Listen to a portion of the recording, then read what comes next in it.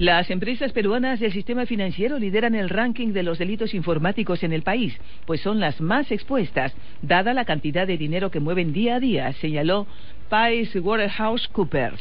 La socia de Price Waterhouse, Graciela Ricci, indicó que le siguen los sectores de telecomunicaciones e industria farmacéutica. En ese sentido, consideró que la cobertura y protección de los delitos económicos en el país, en particular los informáticos, se encuentra un poco por debajo de la seguridad en la región.